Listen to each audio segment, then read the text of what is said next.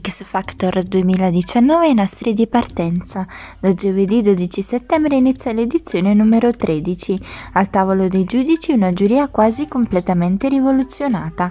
Torna Mara Maionchi insieme a tre nuovi ingressi. Malika Yen, il cantante, autore e frontman dei Subsonica Samuel e la rap star Sfere Basta, un quartetto inedito che segna per la prima volta nella storia di X Factor un cambiamento così radicale ma anche eterogeneo che porta a tavolo una grande varietà di voci, storie e idee per rappresentare al meglio il panorama musicale contemporaneo.